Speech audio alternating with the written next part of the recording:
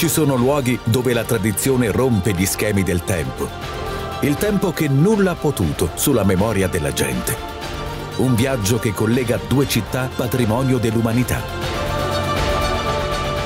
Questo viaggio nel tempo e nello spazio da, tra due città bellissime. In mezzo l'Appennino tosco-emiliano, natura protagonista fermarmi ad ascoltare, guardarmi attorno, allargare o eh, stringere eh, l'angolo della visuale, libertà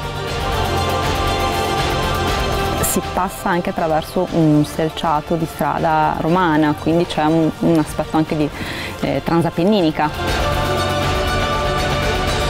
Borghi e gioie culinarie tra le più apprezzate al mondo condividere la fatica e le emozioni con tante persone, incrociate sul cammino e che dopo il viaggio a volte diventano amiche.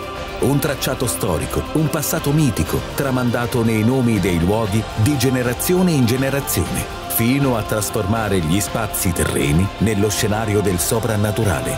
Tutto questo è la via degli dei.